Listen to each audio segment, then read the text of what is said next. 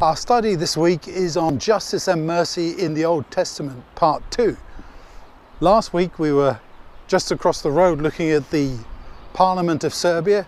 Across the street we have what is the old King's Palace and is now basically City Hall for the city of Belgrade.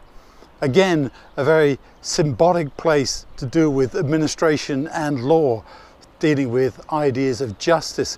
And yet, our ideas of justice, as I've said before, are often rather warped and twisted because we are primarily thinking about retribution and vengeance, whereas God is looking to set things right. That's the sense of justice, righteousness, rather than this uh, retributive sense, and also combined very much with mercy. That's why the title is Justice and Mercy in the Old Testament, part two. And we're given two very interesting chapters in Ezekiel Ezekiel 37 and Ezekiel 47. Ezekiel 37 is the parable story of the dry bones that come to life, the life giving righteousness of God, the rightness of God, I even want to say, that gives life because everything is right. And then in Ezekiel 47, we have this image of the river, a river of mercy, if you want, or even a river of justice, because I believe you shouldn't separate those things coming from God because God is always seeking to do what is right. Through Ezekiel, we have this image of God seeking to bring right out of everything. The problem is there is so much misunderstanding of God's judgment.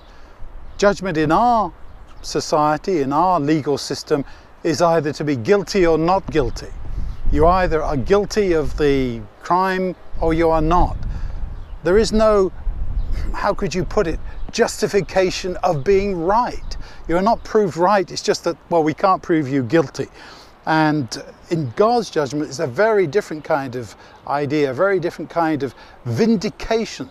Because in the end, in the great controversy, what is this all about? It's about God being judged. Is he right? Is he true? Is he fair? He's been charged of being unjust, unrighteous. But God, through his demonstration, proves that he is both right and merciful and kind and loving and so on. So, as we look at these verses here for this time, it's very much about God's rightness, His mercy flowing. You have the story there, as I mentioned, Ezekiel 47, the river flowing, and then that carries over, of course, into Revelation. In Revelation 22, where you have the river of water of life flowing out of God's throne. A tremendous symbol of how God operates, of the fact that He wants to give us this abundant water of life. Jesus said, I am this water of life that bubbles up within you, this living water, as He said to the woman at the well.